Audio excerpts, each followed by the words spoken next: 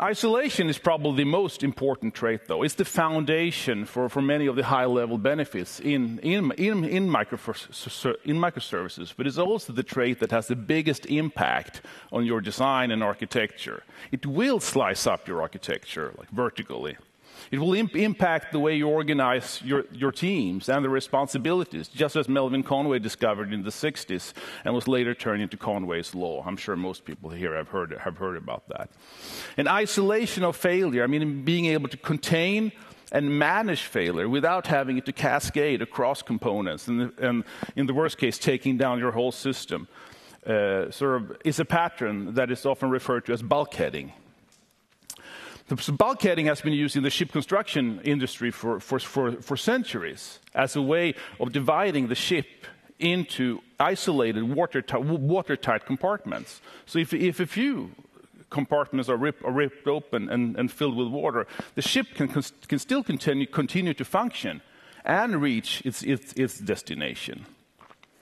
And resilience, that is the, the, the ability to heal from failure, not just to you know, take a hit and, and eventually I mean, die, right, once you get too many hits, but actually recover fully from, from, from failure. And that requires the, the, the, compartmentalization the isolation of failure that bulkheading can give us. And also that's enabled by the asynchronous boundary that I, that, that, that I just talked about. Because you can only achieve full compartmentalization, full isolation, by breaking free from the strong coupling that we have in, in, in, in, in, systems, and in particular the microservices-based systems, since that's, the, since that's the context here. The, the, the, good news, though, is that we have a much more sort of refined foundation now for isolation of services, all the way down to the hardware, using you know, vir virtualization, Docker, unikernels, and, and, and stuff like that.